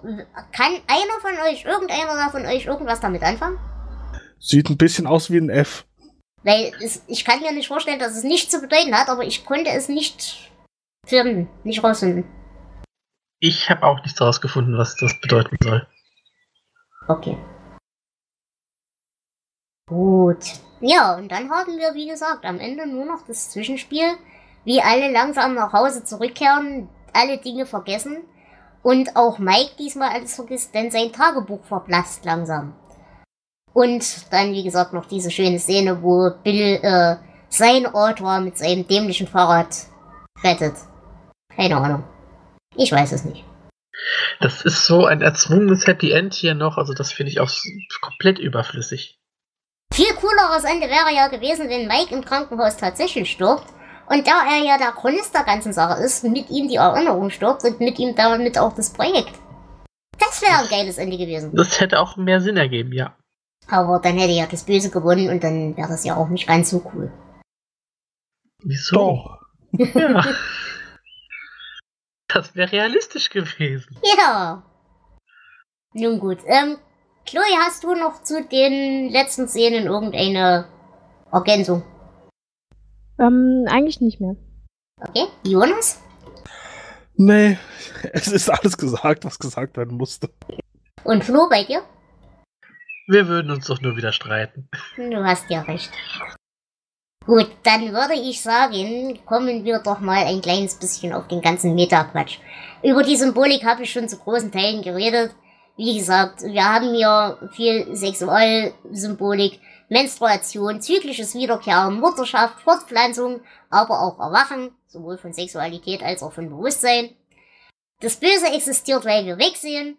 Wir haben außerdem magische Kinder, natürlich auch den Magic Negro, das Prinzip von Angst als Energie und, Ja, und- Und überhaupt das Thema Angst äh, in jeder seiner Formen wird ja hier ganz Genau. breit getreten.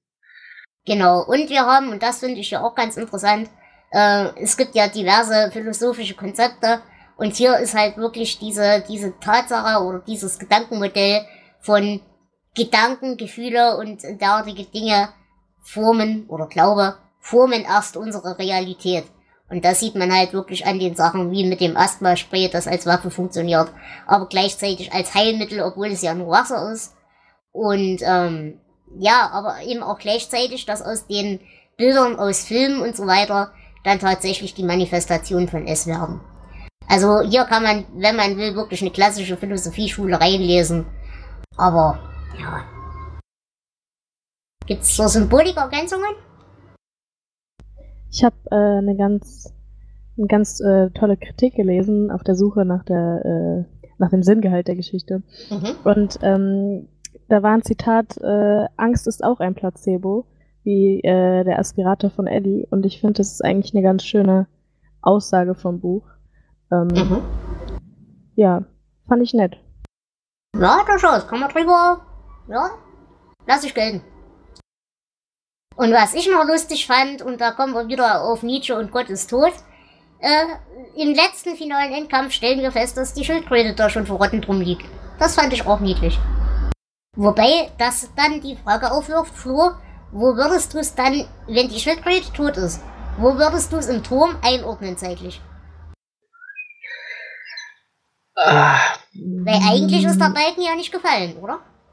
Ich bin mir auch nicht sicher, ob äh, bei solchen Wesen halt tot gleich tot ist. Ähm, vielleicht ist das auch einfach, dass sie sich häuten und in ein anderes Universum weiterziehen oder sowas. Mhm. Ähm, ansonsten kann es natürlich sein, dass wir es hier mit einer Parallelwelt zu tun haben, die einfach zeitlich ein bisschen verschoben ist, sodass das die ganze Geschichte äh, dieses 1985 erst nach 2000 Schlag mich tot in der anderen Welt spielt. Aber das ist natürlich wieder alles hochspekulativ. okay. Gut. Ähm, dann ist die Frage, wollen wir noch kurz wirklich über die Querverbindungen reden oder bereichern wir oder belassen wir es bei denen, die wir schon im Gespräch genannt haben? Ähm, ich denke, wir können es mal noch kurz wenigstens äh, nennen. Mhm.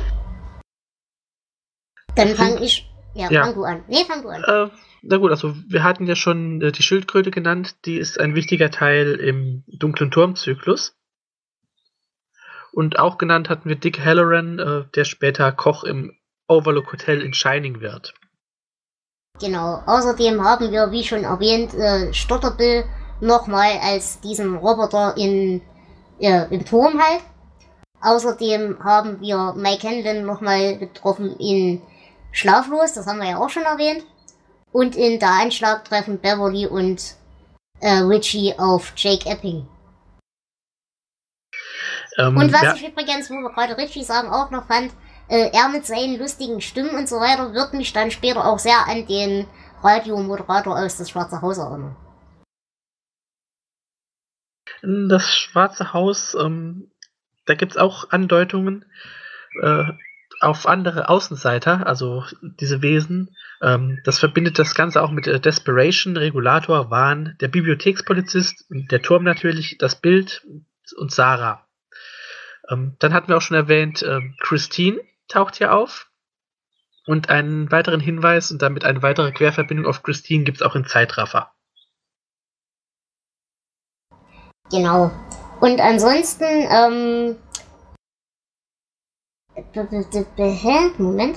Genau, ähm, Ben baut übrigens auch das Bürgerzentrum von Derry äh, nochmal neu, äh, wo dann auch in, äh, genau, wo dann auch Susan Day ihre umstrittene Rede hält, wo sie dann äh, in Schlaflos auch enthauptet wird. Außerdem treffen wir Pennywise, wie gesagt, noch sehr oft. Unter anderem in das Monstrum, Tommy noch raus und so. Ähm, wir haben wieder die Erwähnung in Devils, das haben wir ja gerade schon gehabt. Und ja, wie gesagt, sehr, sehr viele Dinge in, in, in Turm halt. Und das fand ich noch ganz lustig. William Halleck aus Der Fluch kann das Wort Krebs nicht aus seinen Gedanken bekommen. Und er ähm, in der englischen Version spricht dann immer davon, like an evil clown's dirty balloon. Und ja, der geht halt leider in der deutschen Übersetzung komplett verloren, weil da spricht er von wie das hämische Gesicht eines Kastenteufels. Dann haben wir ja schon Becca Paulson aus äh, Das Monstrum und die Offenbarung der Becca Paulson erwähnt. Ähm, Derry taucht ja, wie auch, wie gesagt, viel auf. Ähm, erstmals hatten wir es tatsächlich als Erwähnung in Menschenjagd. Äh, es kommt auch noch chronologisch in Der Anschlag, Das Monstrum, Das heimliche Fenster, Der heimliche Garten, Schlaflos, Dadit, Sarah und Stumm vor. Genau. Außerdem gibt es noch eine kleine Anspielung in faire Verlängerung. Da wird ähm, jemand darauf angesprochen, dass er wie der unsympathischste Clown der Welt aussieht. Und da diese Geschichte auch in Derry spielt, ist natürlich klar, auf wen die Anspielung gemeint ist. Und äh, Joe Hill bezieht sich auch darauf, äh, dass Pennywise existiert, denn in Christmas Land gibt es einen Pennywise Circus. Und wir haben natürlich eine Shawshank äh, Verbindung, eben durch die Nähe dazu, mit, auch mit der Leiche. Denn Stephen Bischoff Dubay, der Mörder von Mellon, wird wegen Mordes zu 15 Jahren in diesem Gefängnis verurteilt.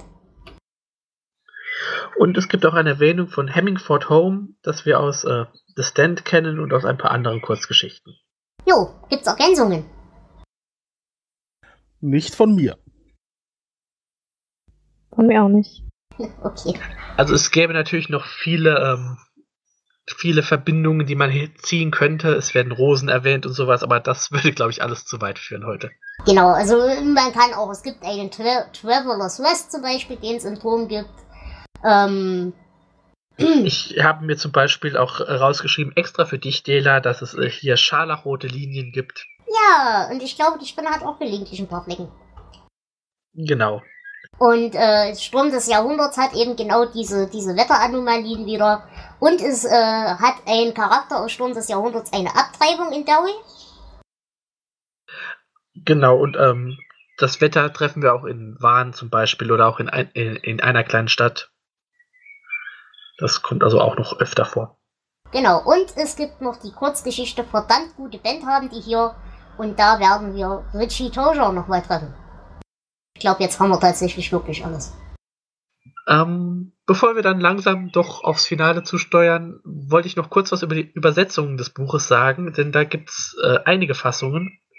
Ähm, wie schon erwähnt, im ersten Teil dieser Folge war die erste Übersetzung von der Edition Fantasia äh, von Alexandra von Reinhardt die Welterstausgabe. Und da gab es einige Abweichungen. Also es fehlten im Deutschen ganze Passagen. Es gab ein paar inhaltliche Abweichungen, weil King da noch was geändert hat und teilweise ähm, gab es auch andere Reihenfolgen. Ähm, das Ganze wurde dann erst einige Jahre später von Joachim Körber überarbeitet und an die amerikanische Fassung angeglichen. Ähm, es war aber immer noch keine Komplettübersetzung. Die gab es tatsächlich erst 2011 bei Heine. Und äh, auch die deutsche Hörbuchfassung, die ähm, von David Nathan gelesen ist, wieder, die basiert auf dieser endlich ungekürzten Version. Ähm, das Buch hat den äh, British Fantasy Society Award 1987 gewonnen und war für den World Fantasy Award nominiert.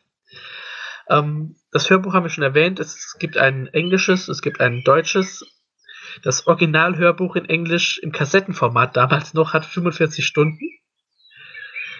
Das ist also schon ein bisschen was. Und es gibt Filme. Und zwar gibt es eine äh, Fernsehminiserie von 1990 mit, ähm, äh, wer ist da? Tim Curry, oder? Mhm. Komm jetzt nicht so. Gibt es eine Fernsehminiserie von 1990 mit Tim Curry als Pennywise. Ähm, die sich ja recht nah an das Buch hält, natürlich gewisse Szenen auslässt und die nicht schlecht, aber manchmal ein bisschen unfreiwillig komisch ist. Und es gibt äh, die 2017er Verfilmung des äh, ersten Teils der Vergangenheitsgeschichte, die äh, sehr gut angekommen ist, die auch einige Änderungen gegenüber dem Buch hat. Sie spielt zum Beispiel in den 80ern und nicht in den 50er Jahren. Und äh, ich glaube, wir sind alle gespannt auf die Fortsetzung, die irgendwann jetzt 2019 erscheinen soll. Ich muss aber tatsächlich sagen, ich fand den 2017er nicht schlecht. Der hat, Nein, wie gesagt, massive Änderungen, aber er ist für einen King-Film echt wirklich gut. Ja, das sehe ich genauso. Und dann hätte ich noch einen letzten Punkt. Ähm, King hat im August 2017 getwittert, Donald Trump hat mich auf Twitter geblockt. Ich blocke ihn hiermit, damit er weder S noch Mr. Mercedes sehen darf. Keine Clowns für dich, Donald. Geh und flieg selbst. Im äh, Englisch natürlich Go float yourself, was äh, auch was anderes bedeuten kann. ja, das ist schön. Gut. Gibt es hierzu noch Ergänzungen? Chloe, hast du zufällig die Filme auch gesehen gehabt? Ja, äh, nur ist es jetzt schon ziemlich lang her, ähm, dass ich den ersten gesehen habe. Äh, den Remake habe ich vor ein paar Tagen nochmal gesehen. Habe ich auch zweimal gesehen. Findest du es denn im Vergleich? Also, wenn du jetzt Buch und Film vergleichst, was findest du besser? Ähm, schon das Buch. Ähm, ich finde es gut, dass manche Szenen ausgelassen wurden im Film, aber manche haben mir auch gefehlt, muss ich sagen. Aber es, ich habe ich hab das Gefühl, der Film wäre unendlich lang gewesen. äh, hätte man auch wirklich alles mit reingepackt, von daher. Okay. Okay. Habt ihr denn, und das muss ich wie bei jedem Buch fragen, hierfür irgendwelche Zitate? Chloe, hast du eins? Nein, leider nicht. Okay, Jonas? Äh, ich ich habe mir natürlich nicht aufgeschrieben. Ich habe eins im Kopf, äh, das kriege ich hoffentlich einigermaßen hin. Man kann nicht vorsichtig sein, wenn man auf dem Skateboard steht. okay. Flo? Kids Fiction is the truth inside a lie, and the truth of this fiction is simply enough. The magic exists. Das ist äh, kein direktes Zitat, das ist äh, die Widmung, die King seinen Kindern an diesem Buch vorweggesetzt hat. Ja, das ist cool. Und ich habe drei Stück. Eddie musste vor seinen eigenen Wagenanflügen von möglicher Tapferkeit beschützt werden. Und dann als nächstes. Doch wozu solch düsteren Gedanken nachhängen? Die Würfel waren gefallen und nicht alle Omen waren schlecht. Und als letztes. Was bist du? Ich bin die Schildkröte, mein Sohn. Ich habe das Universum erschaffen, aber bitte mach mir daraus keinen Vorwurf. Ich hatte Bauchschmerzen. Wundervoll. Dann bleibt mir wirklich an dieser Stelle nur noch euch um eure Bewertungen zu bitten. Und wir bewerten wie immer von 0 bis 19. Und da würde ich sagen, Jonas, fang du erstmal an, leg du erstmal vor. Es ist ein sehr langes Buch. Das mag ich eigentlich, aber hier war es. Äh, teilweise war, war, viel drin, was man hätte ja kürzen können. Trotzdem, ich, ich fand es recht unterhaltsam, aber jetzt auch kein Meisterwerk. Ich gebe 13 Punkte. Okay. Dann würde ich sagen, Chloe, wie würdest du es von 0 bis 19 bewerten? Ähm, ich würde sagen 14, also ein Punkt mehr, ähm, weil ich doch äh, mit den ein oder anderen Sachen, die mir nicht gefallen haben, fand, dass es ein sehr beeindruckendes Buch war und eines seiner besten Werke. Okay. Und äh, damit das Ganze dann auf einer positiven Note endet, würde ich jetzt erstmal meine Bewertung abgeben. Denn ich mag das Buch nicht. Ich habe wirklich, wirklich, wirklich bei allen Anläufen versucht, das Buch zu mögen und es gelingt mir nicht. Ich komme nicht mit diesen Zeitebenen klar. Es ist mir viel zu lang. Der ganze Coming-of-Age-Streck geht mir maßlos auf den Geist. Die Charaktere sind wenigstens in Ansätzen gut, aber auch nur in Ansätzen. Und über die Szenen, über die ich mich aufrege, könnte ich platzen. Deswegen, ich kann maximal sechs Punkte geben. Und damit übergebe ich das Schlusswort an den Flo, wie du es bewertet hast. Ich liebe dieses Buch. Es hat Fehler, es hat einige Fehler. Ähm, die stören mich aber weniger, weil äh, ich es auch sehr mag, wie Dela sich darüber aufregen kann.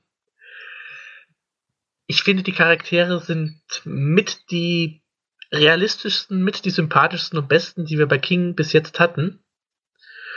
Ähm, ich mag diesen, diese Spielerei mit den zwei Zeitebenen. Ich finde Pennywise einen genialen Gegenspieler. Äh, es hat seine Längen, aber auch äh, diese Längen haben im Gegensatz zu den Sachen in anderen Büchern äh, doch ihren Charme, also gerade diese Zwischenspiele und sowas. Ähm, ich gebe volle Punktzahlen, 19 Punkte. Ich bin mir nicht sicher, ob wir weiter Freunde sein können, Flo. Das waren wir noch nie, Dela. Aber ihr werdet das Elend ja im Laufe der Jahre noch weiter verfolgen, denn wir werden euch treu bleiben. Es wird sicherlich noch viele, viele, viele weitere Folgen mit uns geben und ihr werdet zuhören können, wie Flo und sich uns auch weiter den Schädel einschlagen. In diesem Sinne, ich hoffe, ihr hattet sehr viel Spaß beim Anhören. Ihr verzeiht uns hoffentlich auch das etwas ausgedehnte Format, aber ich glaube, bei diesem Roman kannst du das anders nicht besprechen. Deshalb danke ich euch fürs Zuhören. Es war mir eine Ehre. Und liebe Chloe, es war mir eine Ehre, mit dir zu podcasten. Es war sehr schön, dass du da warst. Ja, ich habe mich auch gefreut. Vielen Dank. Und es war mir natürlich auch eine Ehre, dass du dabei warst, Jonas. Endlich hat es ein Ende. Und ich bin natürlich auch froh, dass du dabei warst, Flo. Denn deine Perspektive, auch wenn sie meiner immer widerspricht, ist doch sehr wertvoll. Dafür bin ich da, Dela. Und ich bin froh, deine Perspektive kennenlernen zu dürfen. In diesem Sinne, liebe Freunde, liebe Hörerschaft, wir hören uns zur nächsten Folge. Was ist das? Auge des Drachen? Die Augen des Drachen, genau. Genau. Und bis dahin wünschen wir euch eine wunderschöne Zeit. Passt auf euch auf und haltet euch von Clowns fern. In diesem Sinne, ciao, eure Dela. Tschüss. Tschüss. Tschüss.